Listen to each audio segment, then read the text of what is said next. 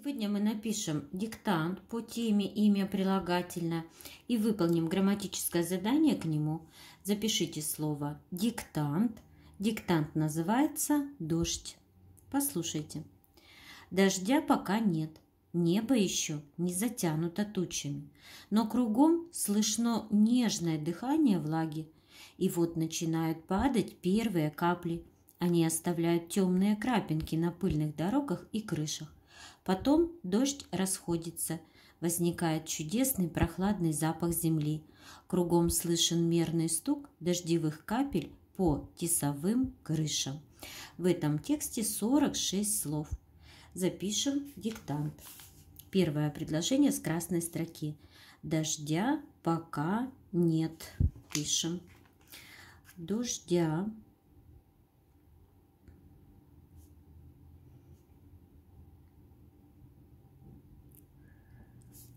пока нет. Сразу будем работать с орфограммами. Дождя. Ударение падает на второй слог безударный гласный О в корне слова. Проверочное слово «дождь». Орфограмма называется безударный гласный в корне слова, который можно проверить. Пока Ударение падает на А, безударный гласный О, нужно запомнить. Нет, в конце предложения точка. Небо еще не затянуто тучами. Небо.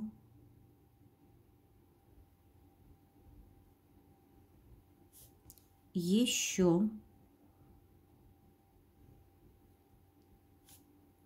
не затянуто.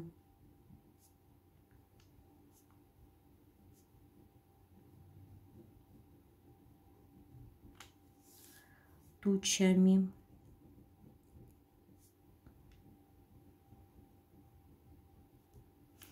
Небо еще не затянуто тучами. А, ударение падает на букву Е в корне, так как слово среднего рода оканчивается на О.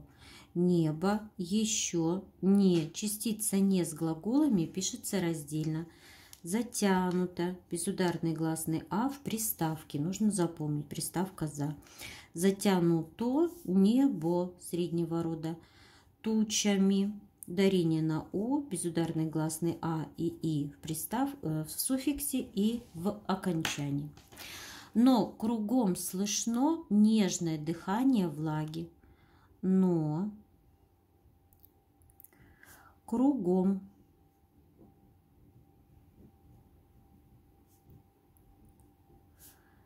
слышно.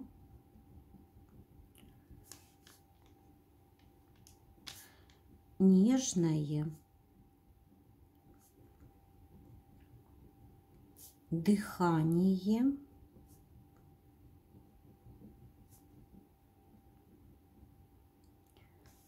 Влаги.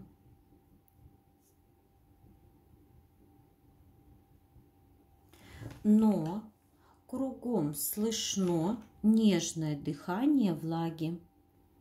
Союз «но» кругом слышно. Почему «о»? Потому что дыхание среднего рода. Оно слышно. Нежное, тоже окончание «ое», потому что средний род. Дыхание влаги. Следующее предложение с красной строки. И вот начинают падать первые капли. И вот начинают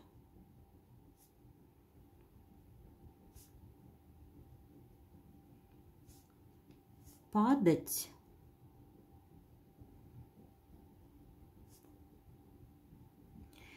И вот начинают падать первые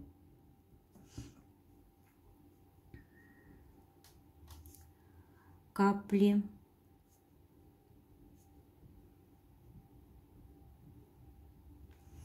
И это союз. Вот начинают.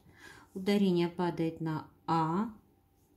Безударный гласный А можно проверить. Начат букву И начинка, начинают падать. Ударение в корне, безударный гласный в суффиксе, мягкий знак, показатель мягкости.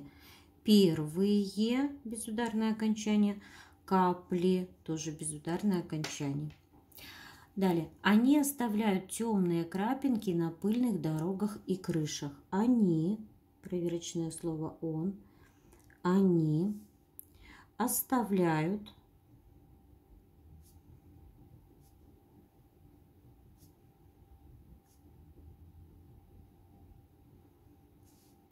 темные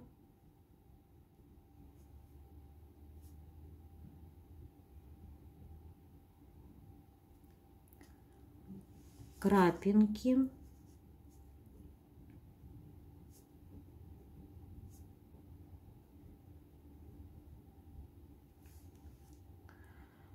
на пыльных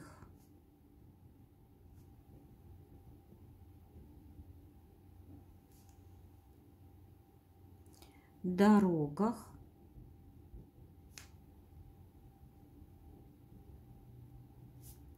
и крышах.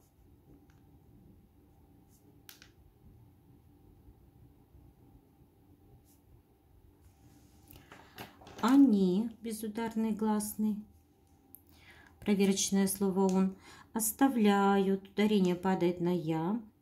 Букву О в приставке нужно запомнить, что это приставка. Встань, букву А можно проверить.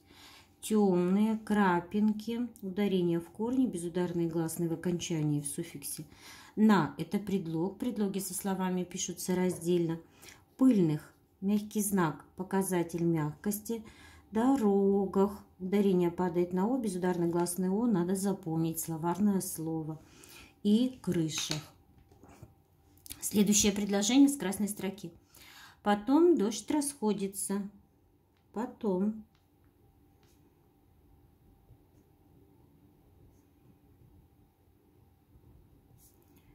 Дождь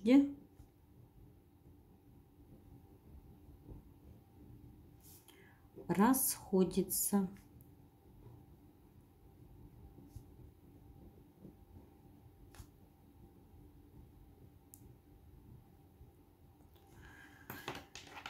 Потом надо запомнить это словарное слово дождь, парный согласный. На конце слова проверочное слово дожди. И мягкий знак – показатель мягкости. Расходится, безударный гласный А в приставке.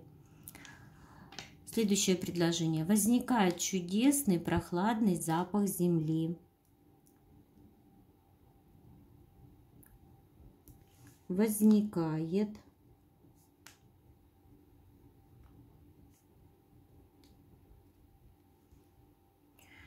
чудесный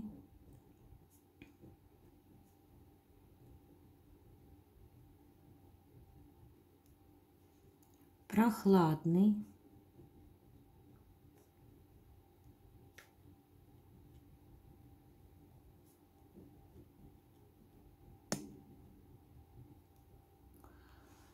запах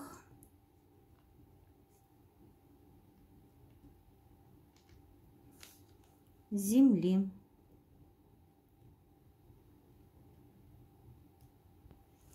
Возникает чудесный прохладный запах земли. Возникает. Букву И можно проверить. Возник. Букву О запомнить приставка. Чудесный. Буква сочетания с Н пишется без буквы Т. Прохладный. Безударный гласный О в приставке. Запах земли. Земли. Проверочное слово. Кругом слышен мерный стук дождевых капель по тесовым крышам. Кругом. Кругом слышен. Мерный стук.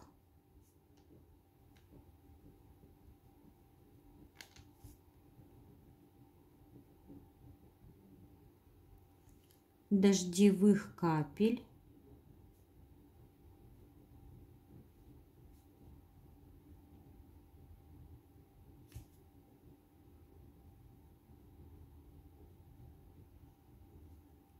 по тесовым крышам.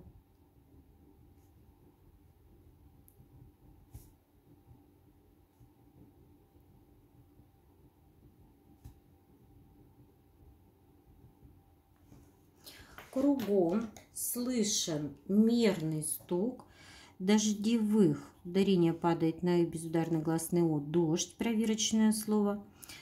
Дождевых капель, мягкий знак, показатель мягкости. По – это предлог. Тесовым тес, проверочное слово, безударный О еще в суффиксе. Крышам. Мы написали с вами весь текст диктанта и сейчас выполним грамматическое задание нужно найти в тексте и подчеркнуть волнистой линией имена прилагательные, поставить знак ударения. Имена прилагательные – это часть речи, которая обозначает признак предмета и отвечает на вопрос «какой», «какая», «какие», «какое». Дождя пока нет, в этом предложении прилагательных нет – Небо еще не затянуто тучами, тоже нет. Но кругом слышно нежное дыхание влаги. Дыхание какое? Нежное. Давайте поставим ударение. Нежное. Ударение падает на первый слог. И вот начинают падать первые капли. Капли какие? Первые. Прилагательное Первое ударение падает на первый слог. Они оставляют темные крапинки на пыльных дорогах и крышах. Крапинки какие? Темные. На букву Ё ударение не ставится. На пыльных дорогах. Дорогах каких? Пыльных. Прилагательное. Ударение падает на первый слог. Потом дождь расходится, возникает чудесный прохладный запах земли. Запах какой? Чудесный. Еще какой? Прохладный. Чудесный ударение падает на Е, прохладный на букву А.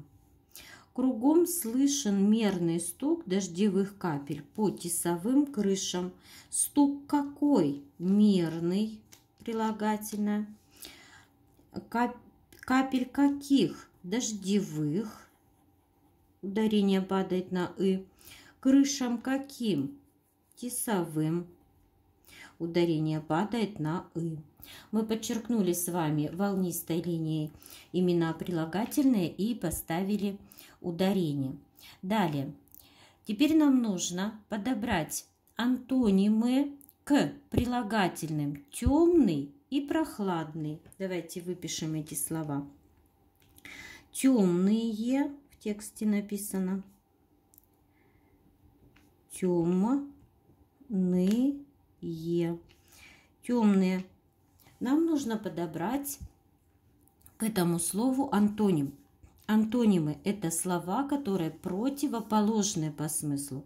Темные, а противоположные – светлые.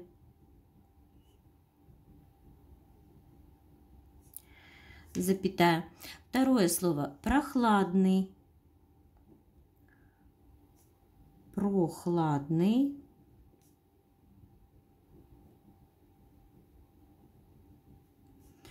А антоним к этому слову жаркий.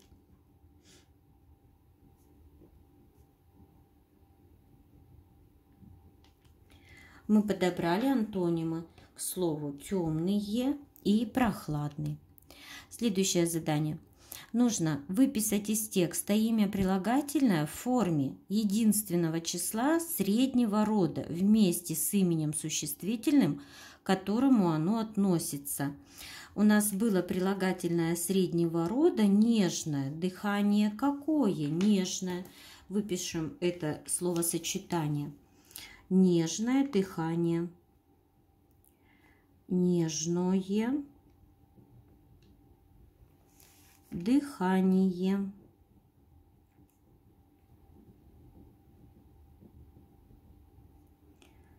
Нежное дыхание. Главное слово в этом словосочетании – дыхание. Дыхание какое? Нежное. От главного к зависимому задаем вопрос. Прилагательное – нежное. А прилагательное нежное находится в единственном числе, среднем роде, так как обозначает признак имени существительного, которое находится в единственном числе и среднем роде, что дыхание. Средний род – единственное число. Мы с вами написали текст диктанта и выполнили грамматическое задание к нему.